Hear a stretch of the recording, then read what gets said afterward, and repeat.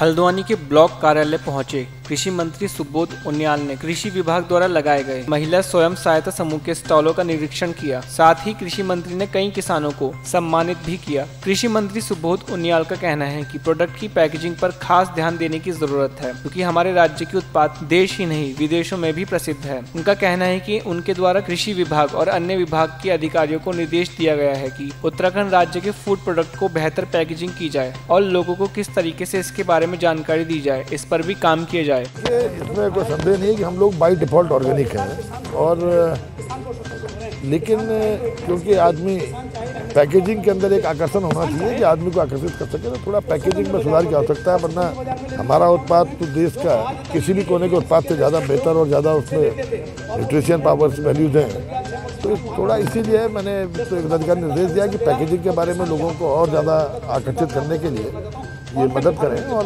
दूसरा जो आज मुख्य उद्देश्य ये है कि जिस तरह पूरे देश का विपक्ष मुद्दा, कोई मुद्दा उनके पास न होने के बावजूद केवल विरोध के लिए विरोध की राजनीति करने के कारण या तो स्वयं भ्रमित है या किसानों को भ्रमित करके अपनी खोई हुई ज़मीन को तलाशने का प्रयास कर रहा है। जो कि आप जानते हैं कि 243 किसान यूनियन इस देश में है, जिसमें मात्र 43 किसान यूनियनों ही इस बिल का, इस कानूनों का विरोध कर रही है। कानून पूरी तरह से किसानों के हित में और किसानों को मजबूती के साथ संरक्षण देने का काम कर रहे हैं। सर, बात की तो कुछ दिन पहले धान खरीद का